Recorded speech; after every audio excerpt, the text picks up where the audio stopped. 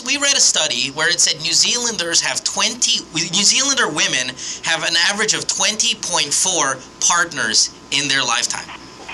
And how old are you? I'm 24. 24. Can we ask Yeah. how many partners have you had now that you're 24? Oh, two.